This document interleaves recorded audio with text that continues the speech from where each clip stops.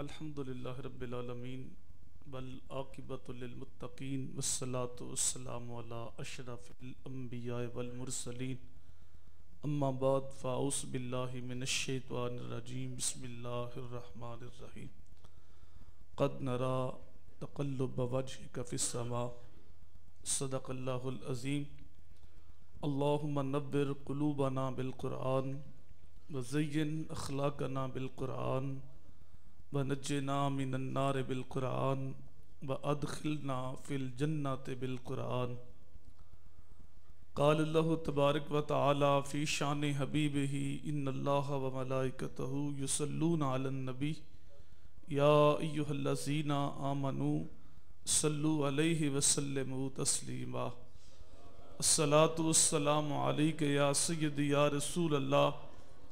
وعلا آلک وصحابک وسلم علیک یا حبیب اللہ۔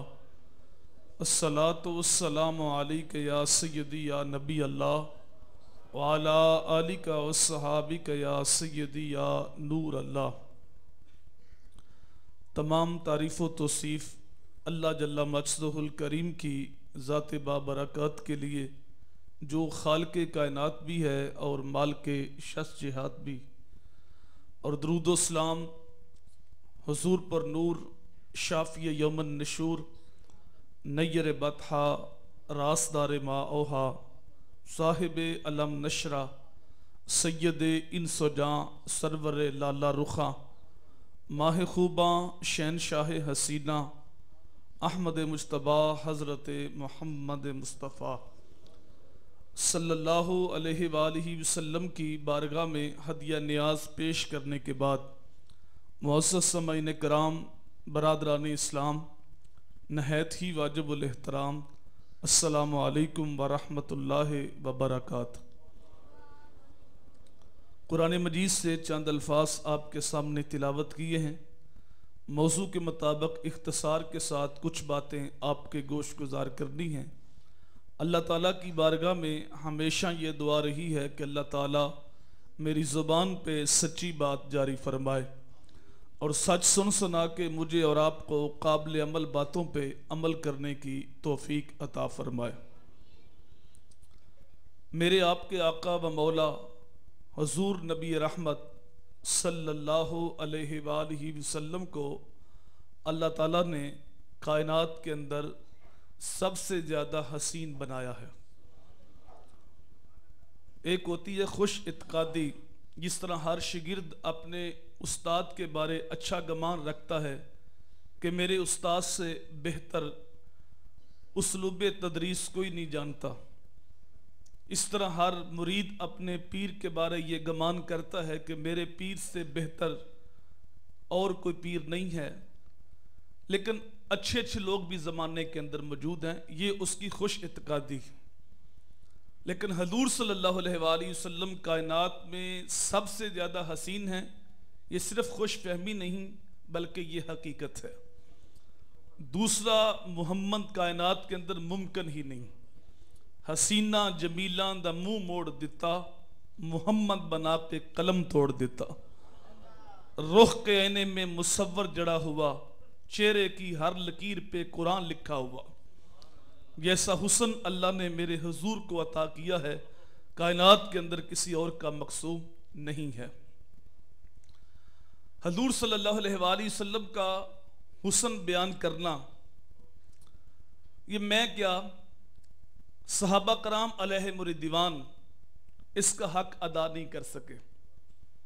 ایک لاکھ کئی ہزار صحابہ ہیں لیکن جو حضور کا حلیہ بیان کرتے ہیں، وہ انگلیوں پہ گنے جا سکتے ہیں۔ وہ درجنوں کے قریب ہیں جو صحابہ حضور کا حسن بیان کرتے ہیں۔ اور وہ ہیں جس نے جس نے بچپنے میں دیکھا، یا جس نے سوئے ہوئے دیکھا، یا جس کے ساتھ حضور صلی اللہ علیہ وآلہ وسلم کو بہت زیادہ قربت تھی، یا گھر والے کچھ لوگ ہیں، وہ حضور کا حسن بیان کرتے ہیں۔ باقی ایک دوسرے سے پوچھتے ہیں کہ بتاؤ حضور کیسے تھے؟ میاں تم نے نہیں دیکھا؟ کہا دیکھ کر بھی نہیں دیکھا۔ کسی کے اندر ہمت نہیں تھی کہ وہ آنکھ بھر کے حضور کے چہرے کا نظارہ کر سکے۔ بلا اس چہرے کا نظارہ کون کر سکتا ہے کہ جس چہرے کے بارے رب بھی کہے، قد نرا تقلب وجہ کا فی السما کہ محبوب، جب آپ کا چہرہ آسمان کی طرف اٹھتا ہے تو ہم آپ کو دیکھتے رہے۔ تھے تو جس کے چہرے پر ذات الہی کی نظریں ہوں اور اس کے جلووں کا عالم پھر کیا ہوگا؟ اور جو بندہ حضور صلی اللہ علیہ وآلہ وسلم کا حسن بیان کرتا ہے، علماء نے لکھا ہے کہ وہ لوگوں کے دلوں میں اپنا گھر بنا لیتا۔ آج ہر بندے کی آرزو ہے کہ میں ہر دل عزیز ہو جاؤں۔ تو میں آسان سا نسخہ آپ کو بتا رہا ہوں۔ اگر ہر دل عزیز ہونا چاہتے ہو تو حسن محمد کی باتیں کیا کرو۔ اگر گھر والوں میں ہر دل عزیز بننا چاہتے ہو تو گھر والوں بٹھا کر حضور کے حسن کے قصیدے پڑھا کرو۔ اگر دوستوں میں ہر دل عزیز بننا چاہتے ہو تو جب دوستوں کے اندر بیٹھو تو حضور کے حسن کے تذکرے کیا کرو۔ زمانہ تمہارے ساتھ پیار کرے گا۔ تم خدا کے بھی محبوب بن جاؤ گے اور محبوب خدا کے بھی محبوب بن جاؤ گے۔ تو جو بندہ حضور کا حسن بیان کرتا ہے، وہ لوگوں کے دلوں میں اپنا گھر بنا لیتا ہے۔ حضرت ابو نعیم کہتے ہیں کہ اللہ تعالیٰ نے سارے نبیوں کو جو حسن عطا کیا، یوسف علیہ السلام کو حسن عطا کیا، ان سب سے بڑھ کر میرے نبی کو حسن عطا کیا۔ اور کہتے ہیں کہ جو یوسف علیہ السلام کو حسن و جمال دیا گیا وہ ایک جز ہے اور میرے نبی کو جو حسن دیا گیا ہے وہ کل ہے۔ اللہ اکبر۔ اور حضرت ابو حرارہ کہتے ہیں، لم ارا قبلہ والا بادہ بسلہ کیا پوچھتے ہو؟ حضور تو چودوی کی چاند کی طرح تھے۔ حضور کی مثل نہ کبھی پہلے دیکھا، نہ کبھی بعد میں دیکھا۔ حسان بن ثابت بولے، دیکھتے کس طرح کسی ماں نے ایسا جنم ہی نہیں دیا۔ وَأَحْسَنُ مِنْكَ لَمْ تَرَقَتْ تُوَيْنِ وَأَجْمَلُ مِنْكَ لَمْ تَلِدِن نِسَاؤُ خلقت مبرعم من کل عیب کأن قد خلقت کما تشاؤ آقا، آپ جیسا حسین میری آنکھ نے آج تک نہیں دیکھا۔ اور خود ہی کہتے ہیں آنکھ کس طرح دیکھتی؟ کسی ماں نے ایسا جنم ہی نہیں دیا۔ آقا، آپ تو ہر عیب سے پاک پیدا کیے گئے۔ یوں لگتا ہے جیسے آپ نے چاہا تھا، خدا نے ویسے ہی بنا دیا تھا۔ قد کاٹ چہرہ تے بنتر بناوٹ، ختم ہوئی سونے تے ساری سجاوٹ۔ ایڈا سونا مائی کسے بھی نہیں جنیا جمیں اپنی مرضی مطابق ہے بنیا۔ مصور نہیں بھی اسی حد کر دیتی۔ بڑی سونی سونے دی تصویر کھچی۔ حسینہ جمیلہ دا منہ موڑ دیتا، محمد بنا کر قلم توڑ دیتا۔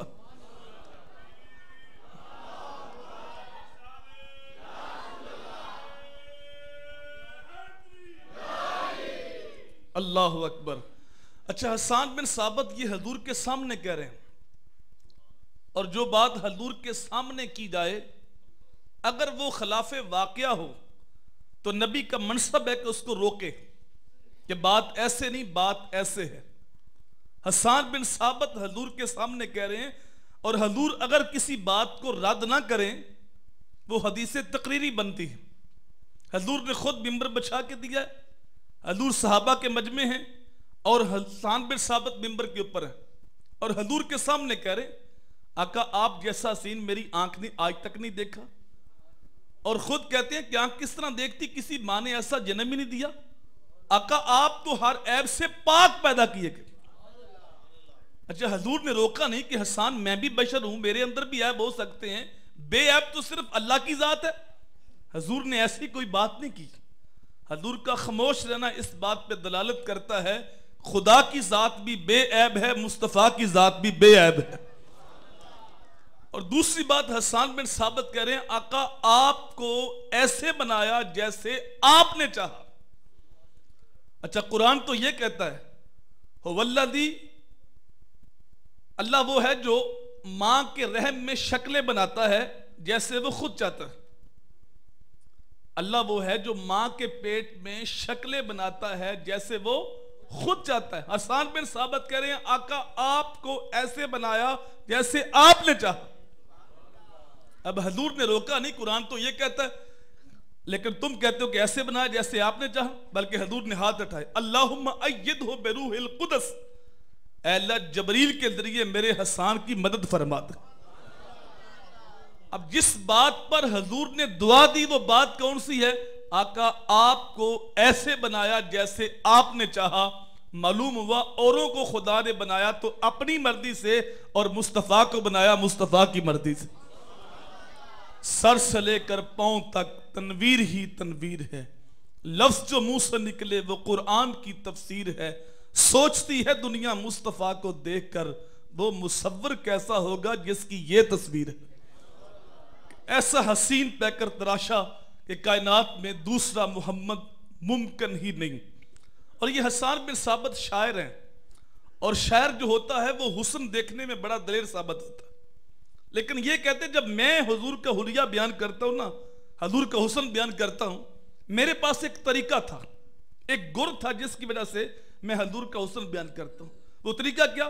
کہتے ہیں، فَلَمْ نَظَرْتُ عَلَىٰ أَنْوَارِهِ فَدَاتُ قَفِّ عَلَىٰ عَيْنِ خَوْفَ مِنْ زِحَابِ بَصْرِ کہ جب میں حضور کو دیکھتا تو پہلے میں اپنی انگلیاں اپنی آنکھوں پہ رکھتا اور انگلیوں کی اوٹ سے حضور کا چہرہ دیکھتا اس لیے کہ حضور کے چہرے کی چمک سے کہیں میری آنکھیں اندھی نہ ہو جائیں۔ یہ شاعر ہیں جو حسن دیکھنے میں بڑے دلیر ہیں، وہ بھی دیکھتے ہیں تو آنکھوں پہ انگلیاں رکھ کے دیکھتے ہیں۔ اور ابھی اس حسن کے اوپر ستر ہزار پردے ہیں۔ اگر یہ حسن بے نقاب ہوتا تو کیا ہوتا؟ یہی بہتر ہے کہ وہ پردے میں روح پوش رہے۔ وہ اگر پردہ اٹھا دے تو کسے ہوش رہے؟ یار یہ تو انسان ہے۔ علامہ یوسف نبہانی نے باقاعدہ باپ بانا جوار البہار شریف کے اندر جب حضور صلی اللہ علیہ وآلہ وسلم نے ارشاد فرمایا کہ بچہ پیدا ہوتا ہے تو اس کے ساتھ ایک حمزاد شیطان پیدا ہوتا ہے، جو اس کی پسلیوں کو چھیڑتا ہے اور بچہ روتا ہے۔ تو گھر والے سمجھتے ہیں کہ بچہ زندہ پیدا ہوا، وہ خوشی مناتے ہیں۔ اگر بچہ روئے نہ، تو گھر والے پریشان ہوتے ہیں کہ شاید مردہ پیدا ہوا۔ اس وقت اس کا رونا اس کی زندگی پر دلالت کرتا ہے۔ یہاں شیخ سادی نے بڑی خوبصورت بات کہی، کہا کہ انسان، ہوش کر، جب تو آیا تھا تو روتا ہوا آیا تھا، اور تجھے روتا دیکھ کے گھر والے ہنستے تھے۔ کہا زندگی ایسے گدار کہ گھر والوں سے بدلہ تو لے سکے۔ زندگی ایسے گدار جب تو جائے تو ہنستا ہوا جائے، گھر والے روتے رہ جائے یہ نہ ہو کہ وہ آیا بھی روتا اور جاتا بھی روتا ہی جائے۔ ایسا نہ ہو، زندگی اس انداز سے گدار جا کہ جب تو جائے تو تو ہنستا ہوا جائے۔ تو حضور نے جب یہ بات کہی تو صحابہ بڑے زندہ دل لوگ تھے۔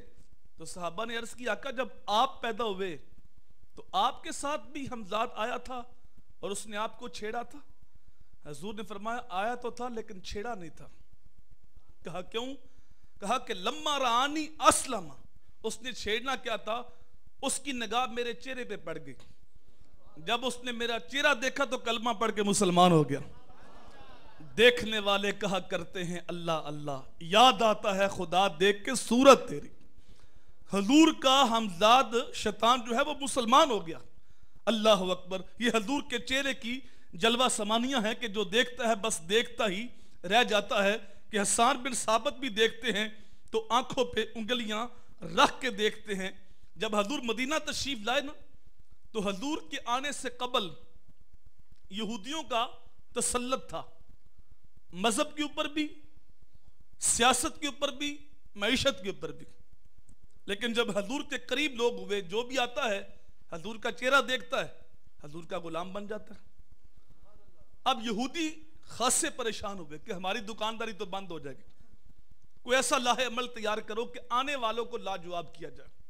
اور ہم کہہ سکیں کہ نبی ہونے کا دعویٰ ہے، لیکن ہمارے سوالوں کا جواب ہی نہیں آیا۔ ان کے علماء دانشور مل بیٹھے اور مل بیٹھ کر ایک فیصلہ کیا کہ عبداللہ بن سلام، جو یہودیوں کے بہت بڑے عالم تھے، علمی خاندان کے ساتھ تعلق تھا، نسبی طور پہ حضرت یوسف علیہ السلام کی اولاد سے تھے۔ انہیں تیار کیا کہ تم جاؤ اور آنے والے کے ساتھ مناظرہ کرو۔ یہ سوال کرو، یہ سوال کرو، اس کا جواب ملا تو پھر یہ اعتراض کرنا۔ تمہارے سوالوں کا جواب تو وہ دے نہیں پائیں گے۔ تو ہم کہیں گے کہ نبی ہونے کا دعویٰ ہے، لیکن ہمارے سوالوں کا جواب نہیں دے سکے ایک روایت میں آتا ہے، ایک سو سوال خانہ ذہن میں لے کے گئے تھے۔ اللہ اکبر۔ جب یہ گھر سے چلے تو یہود علماء نے ہاتھ اٹھائے کہ فتح یاب ہو کے واپس پلٹے لیکن تقدیر کچھ اور ہی چاہ رہی تھی۔ سودا لینے کے لیے بازار گئے ہم۔ ہاتھ اس کے بکے جس کے خریدار گئے ہم۔ اللہ اکبر۔ جب یہ مجلس نبی میں پہنچتے ہیں تو میرے نبی اس وقت سلا رحمی پہ گفتگو کر رہے تھے۔ کتنا خوبصورت انداز تھا۔ حضور فرما رہے تھے، سل من قاتا آقا وات من ہارا ماں کا جو تم سے تلق توڑے تم اس سے بڑھ بڑھ کے تلق جوڑو۔ جو تمہیں محروم رکھے، تم اس کی جولیاں بر دو۔ جو ظلم کرے، تم اس کو معاف کر دو۔ ایسا خوبصورت انداز تھا، جب دیکھا چہرے کو، تو دیکھتے رہ گئے۔ وہ جو گٹھری سوالوں کی سر پہ اٹھا کے لائے تھے نا، وہ ساری کھل گئی۔ اور کوئی بھی سوال یاد نہ رہا۔ یہاں علامہ رومی کا انداز دیکھیے۔ علامہ رومی کہتے ہیں، اے لکائے تو جواب ہر سوال، حل شبد ہر مشکلت بے کیلو کال. تیری تو ملاقات ہی سارے سوالوں کا جواب ہے۔ ساری مشکلیں بغیر کہیں حل ہو جاتی۔ کوئی بھی سوال یاد نہ رہا۔ جب حضور نے گفتگو ختم کی تو یہ آگے بڑھے۔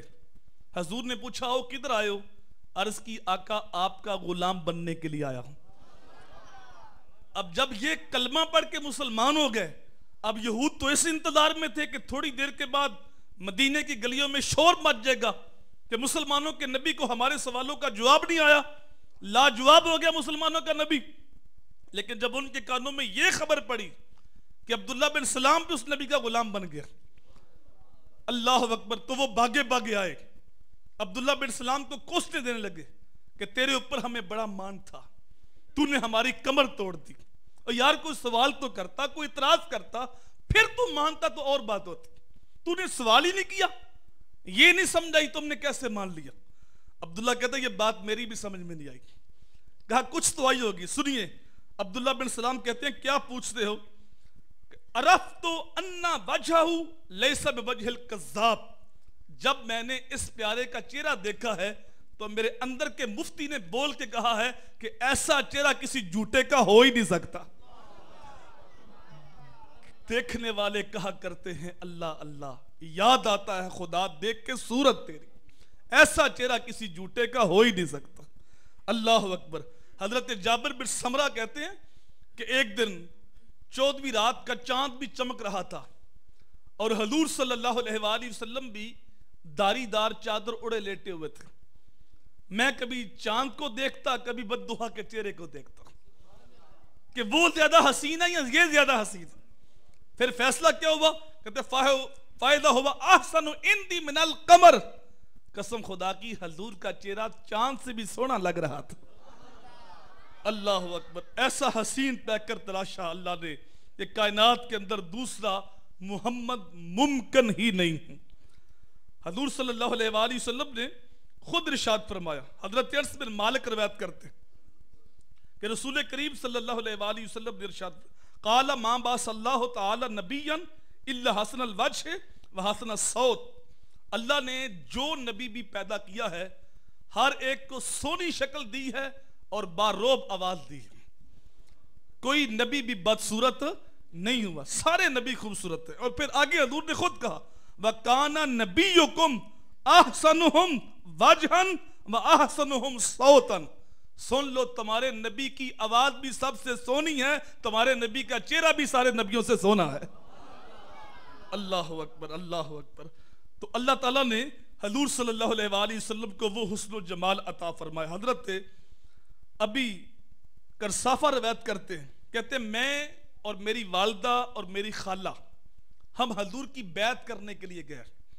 جب بیعت کر کے واپس پلٹے تو میری ماں نے اور میری خالہ نے مجھے کہا کہ بیٹا، اتنا خوبصورت چہرہ ہم نے آج تک نہیں دیکھا۔ اور پھر کہا کہ اتنا پقیدہ لباس ہم نے آج تک نہیں دیکھا۔ اور پھر کہا، بیٹا، اتنے موٹ میٹھے بول بولنے والا آدمی ہم نے آج تک نہیں دیکھا۔ اس کا انداز بولنے کا بھی بڑا خوبصورت ہے۔ اس کا لباس بھی بڑا پیارا ہے۔ اس کا چہرہ بھی بڑا سونا ہے۔ دیکھنے والے کہا کرتے ہیں، اللہ اللہ، یاد آتا ہے خدا دیکھ کے صورت تیری؟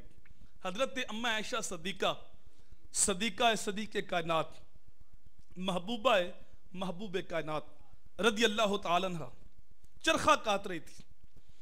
اور حضور صلی اللہ علیہ وآلہ وسلم اپنے جوتے کو پیوند لگا رہے تھے۔ تو حضور کے پشانی کے اوپر پسینے کے قطرے آ گئے۔ اور آپ جانتے ہیں چرخے کی ایک تان ہوتی ہے۔ اور چرخہ کات رہی تھی اور حضور اپنے دھیان سے لگے ہوئے تھے۔ تو جب چرخے کی تان رک گئی نا، تو حضور نے پوچھا کہ عائشہ کیا ہوا؟ تم نے چرخہ کیوں روک دیا؟ تو عرض کی آقا میں تو آپ کا چہرہ دیکھ رہی ہوں۔ آپ کے چہرے کے اوپر جو پسینے کے قطرے ہیں نا، یہ ایسے چمک رہے ہیں جس طرح موتی ہوتے ہیں۔ اللہ اکبر اللہ اکبر۔ اچھا امام زرکانی نے لکھا ہے کہ ایک دن حضور صلی اللہ علیہ وآلہ وسلم مدینہ منورہ سے سیر کرتے کرتے باہر نکلے۔ وہاں ایک قافلہ رکا ہوا تھا اور ان کے سرخ رنگ کے اونٹ وہاں چر رہے تھے۔ ان اونٹوں میں سے ایک اونٹ حضور کو پسند آ گیا۔ کتنا فروز بخت وہ اونٹ تھا جو میرے نبی کو پسند آ گیا۔ کاش ہمارے بھی بخت بیدار ہو جائیں اور ہم ساری حضور کو پسند آ جائیں۔ جو لوگ تاریخ عرب سے واقف ہیں، اس بات کو بخوبی جانتے ہیں کہ اہل عرب کے ہاں سرخ اونٹ کی بڑی اہمیت تھی۔ حضور نے پوچھا کہ یہ اونٹ بیچتے ہو؟ انہوں نے پتہ نہیں بیچنا تھا یا نہیں بیچنا تھا۔ جب حسن کا پیکر دیکھا نا ودوہا کا چہرہ واللیل کی زلفیں ید اللہ کے ہاتھ، علم نشرہ کا سینہ، ماں رمیت کے بازو، لب لالی خط مشکین زلف امبری جب حسن کا پیکر دیکھا کہا، جناب، اونٹ کیا؟ ہم تو خود بکنے کو تیار۔ میرے شیخ طریقت فرماتے ہیں، میں دل ویچا، میں جگر ویچا۔ یہ پیارا محمد آ جاوے۔ نہیں، میں اپنا سارا کر ویچا یہ سونا محمد آ جاوے۔ حضور خود چل کے آئے ہیں، پوچھتے ہیں، اونٹ بیچتے ہو؟ کہاں بیچتے ہیں؟ کتنے کا؟ سودا ہونے لگا۔ ایک جگہ پہ بات آ کے رک گئی۔ سودا طے ہو گیا۔ حضور نے فرمایا، آیا تو میں سیر کرنے کے لیے تھا۔ یہ اونٹ پسند آ گیا ہے۔ گھر جاتا ہوں، اس کی قیمت بیچ دیتا ہوں۔ انہوں نے کہا، ہمیں منظور ہے۔ اب دنیا کا ضابطہ یہ ہے کہ جب چیز نقد دی جائے، تو گاگ کا عطا پتہ نہیں پوچھتے۔ اور جب چیز ادھار ہو، یا بندہ کسی کو جانتا ہو، یا درمیان میں زامن ہو، یا کوئی چیز گروی رکھے۔ اب جانتے وہ نہیں تھے، پہلی بار دیکھا تھا۔ درمیان میں زامن میں کوئی نہیں، چیز بھی گروی کوئی نہیں۔ حضور نے نکیل پکڑی اور سوئے مدینہ روانہ ہو گئے۔ جب تک حضور نظروں کے سامنے رہے نا، وہ حضور کی رفتار کو دیکھتے رہ گئے۔ جدوں اچلدا تے کر دی زمین سجدے۔ جب حضور نظروں سے اجل ہوئے، اب وہ آپس میں باتیں کرنے لگے کہ یار ہمارے ساتھ تو عجیب اتفاق ہوا ہے، ایک شخص آیا ہے قیمتی اونٹ لے گیا ہے، ہمیں اپنا پتہ بھی نہیں بتایا۔ ہم میں سے جانتا بھی کوئی نہیں، چیز بھی گر بھی کوئی نہیں، درمیان میں زامن بھی کوئی نہیں۔ یار، کسی کو ہوش نہیں آیا؟ ایک بولا ازا داہے کا یا تلالا فی الجدر کیا پوچھتے ہو؟ جب وہ پیارا باتیں کرتا تھا تو سامنے والے پہاڑ بھی روشن ہوتے تھے۔ میں تو یہ منظر ہی دیکھتا رہ گیا۔ ایک نے کہا ازا سرا استنارا بچو یار، میں نے پہلی بار ایسا شخص دیکھا ہے جس کے چہرے کی لکیروں سے بھی نور نکلتا تھا۔ میں تو وہ منظر ہی دیکھتا رہ گیا۔ ایک نے کہا ازا تکلما رویا کنور یخرج من بین سنایا ہو۔ یار، جب وہ کلام کرتا تھا تو دانتوں سے نور کی کرنیں چھن چھن کے باہر نکلتی تھی۔ میں تو یہ منظر ہی دیکھتا رہ گیا۔ ایک نے کہا، یار، اس کے لب بڑے پیارے تھے، جیسے غلاب کی پتیاں ہوتی ہیں۔ ایک نے کہا، یار، اس کی آنکھیں بڑی خوبصورت تھی سرخ آنکھیں ماں زاگ دے کے جلے والی۔ گر میری سمت بھی اٹھے تو مقدر جاگے۔ اس کی آنکھیں بڑی خوبصورت تھی کیا خوب سجن دیاں اکھیاں نے۔ جی میں پر کے سنائیاں رکھیاں نے۔ تو اجے میرا یار نہیں ڈٹھا جنہوں ویخ کے چند شرم آوے۔ تے ادھی راتی دن چڑھ جاوے جو رخ تو نکاب ہٹاوے۔ تے جے او نکلے سیر کرنو تے سارا گلشن سیس نواوے اتاں ترتی لف لف جاوے، جے ہاتھ پھلاں وچ رکھ دا ہاتھ پھلاں تو ود جاوے، نین نشیلے مست رسیلے بچ سونا کجل سواوے، اکھ اگڑے تے انج پیا جاپے جیوے میں خانہ کھل جاوے۔ توبہ توبہ، حسن سجن دا چال نہ چلی جاوے۔ بجلی ڈر لشک نہ مارے، کتے بے ادبی نہ ہو جاوے۔ علم خدا نے انہ دیتا اقلاں بچ نہ آوے اقل خدا نے انی دیتی علمہ بچ نہ آوے جے او کھولے پیج ظلف دے تے راہی راہ پل جاوے کی اجاز نظر بچ او دی جو آوے وک جاوے خلق او دے نے مولی دنیا او کوئی ورلے جان بچاوے آزم ایڈا سونا ماہی سانو جگتے نظر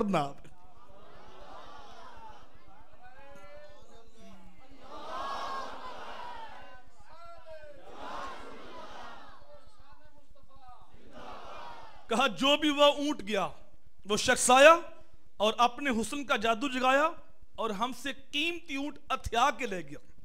جب یہ بات کہی نا، قیمتی اونٹ اتھیا کے لے گیا، تو علامہ درکاری فرماتے ہیں کافلے کے سردار کی بیوی جو خیمے میں بیٹھ کے ابھی تک خموشی کے ساتھ ان کی باتیں سن رہی تھی، جب یہ بات کہی کہ قیمتی اونٹ لے گیا ہم سے اتھیا کے، تو اس نے خیمے کا پردہ پیچھے کیا اور کہا، آنا زامنہ تن وَسَمَنِ جَمَلَكُمْ لَا يَغْدِرُ بِكُمْ خبردار کس نے اس کے بارے بات کی؟ اگر اس نے قیمت نہ نہ بیجی تو قیمت مجھ سے لینا، میں اس کی ضمانت دیتی ہوں۔ کہا، تو اس کو جانتی ہے؟ کہا، واللہ، میں بھی نہیں جانتی۔ تو کہا، پھر ضمانت کیسے؟ کہا، جب تم اس کے ساتھ اونٹ کا سودا کر رہے تھے، تو میں خیمے کی اوٹ سے اس کا چہرہ دیکھا تھا، تو ایسے سونے چہرے والا بندہ جھوٹ بول ہی نہیں سکتا۔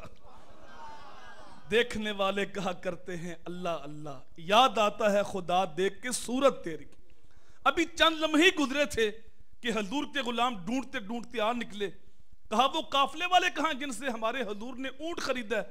کہا، ہم ہیں۔ کہا، یہ لو حضور نے تمہاری مہمان نوازی کے لیے کھجورے بھیجی ہیں اور یہ لو اپنی قیمت پوری کر لو۔ وہ کہتے ہیں، قیمت تو بعد میں لیں گے، پہلے یہ بتا وہ سونا رہتا کہاں ہے؟